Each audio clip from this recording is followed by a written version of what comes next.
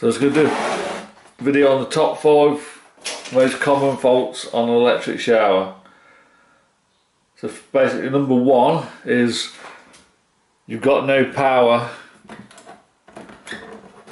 It looks like there's no power, there's no water coming out or anything.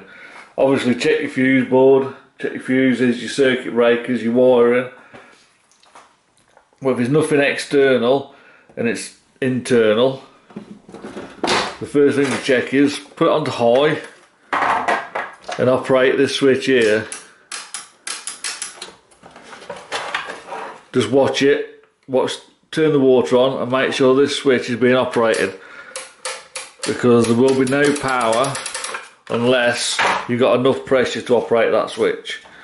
So that's important, your pressure switch. So number two fault if it's going hot and cold, it's usually the flow through being affected. See, water comes in, flows through the heater and comes out. So if it's going hot and cold, then it's usually either a bad pressure, water pressure. So basically, you want to check your tap I was going to take the water pressure tap now on this house so it's all the way open. So that's closed so all the way open. And then just in a quarter of a turn so it don't get stuck.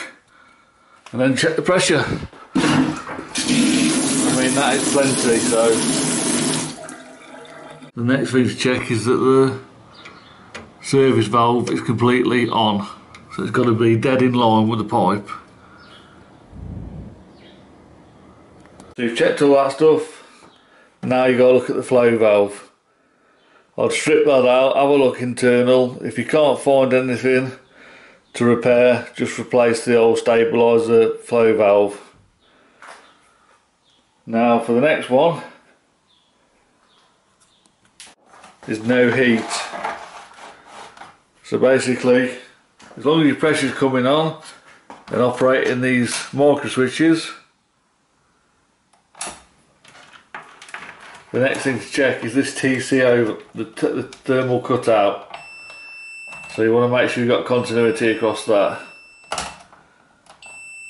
If that trips, it will not allow electric to the element. So obviously the last thing now is to check the elements to make sure they're both working. That one's got 12.3 ohms.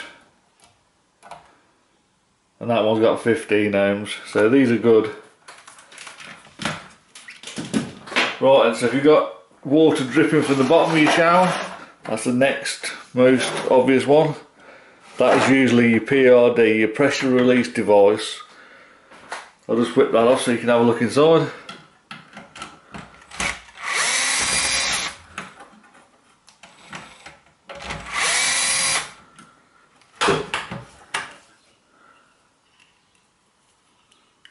So basically it's like a little cap that fits in there. If your water pressure gets too high, if your pressure in the side of your heater gets too high, that will split so that this don't explode. So it's easy to replace, just put your new one in and screw it down.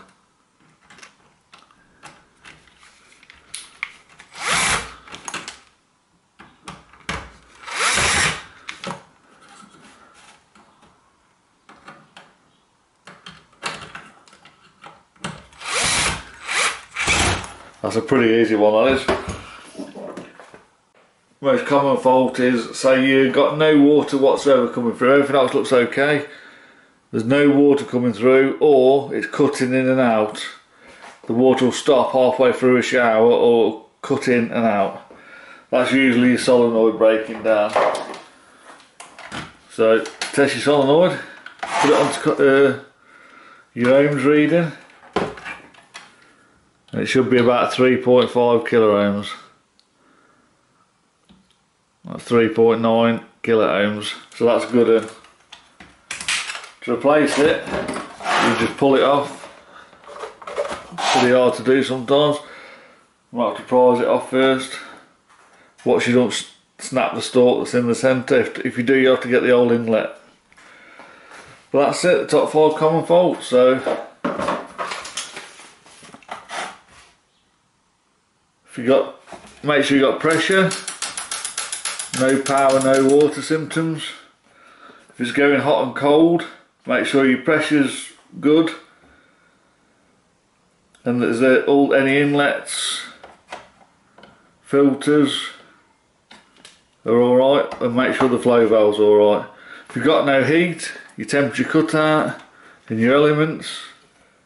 If you've got water dripping from your bottom of your shower, it's probably your PRD. And if your water's cutting in and out or there's no water, try your solenoid valve.